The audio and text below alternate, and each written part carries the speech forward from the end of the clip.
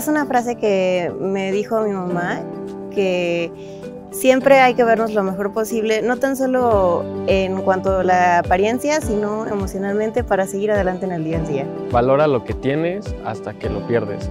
¿Por qué? Porque pues de repente pensamos que tenemos ya todo así como por default, lo que jamás vamos a perder nada. Creo que una frase sería el único límite eres tú y más que nada porque pues muchas veces somos nosotros mismos quienes nos ponemos las trabas. Enamórate de estar vivo, porque bueno, creo que va un poco de la mano también, o sea, es como eso, como pues, disfrutar la simplicidad de la experiencia de vivir.